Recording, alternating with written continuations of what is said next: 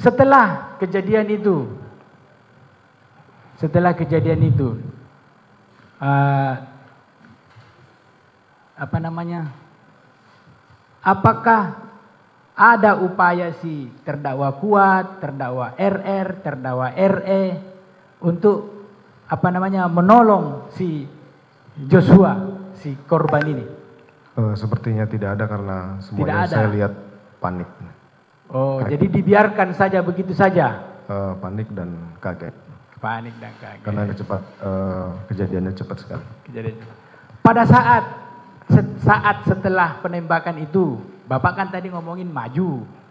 Ya toh, Pak? Iya, Ah, di korban itu, ya toh? Karena Bapak tersadar nih ceritanya nih. Sehingga stop terus maju ke situ. Ada enggak Bapak mau niat atau apa namanya untuk menolong dia dengan cara memeriksa apakah Eh, orang ini masih hidup atau tidak? saya Paling tidak terpikir lagi untuk melakukan pemeriksaan itu, tapi setelah diliputi dengan perasaan emosi aja gitu. setelah uh, mengambil senjata yang bersangkutan, saya tembak ke dinding, baru kemudian saya coba untuk uh, menghubungi ambulans. Pada saat itu Bapak dekat itu Joshua masih hidup apa masih bergerak apa sudah Uh, saya tidak tahu pasti karena tidak saya tahu pasti.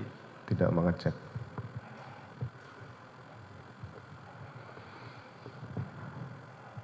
Ini saya hanya butuh petegak penegasan Pak ya. Yang menembak si korban ini sebenarnya apakah hanya eh, Ricky Rizal, Eliezer Ricky Eliezer Budial Lumiu atau ada orang lain?